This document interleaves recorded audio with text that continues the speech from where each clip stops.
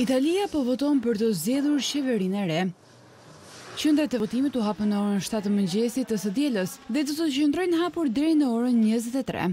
Janë rreth pesëdhjetë e një milionë qytetarë italianë me të drejtë vote, katër pikë shtatë milionë prej të cilëve tashmë kanë votuar nga jashtë shtetit.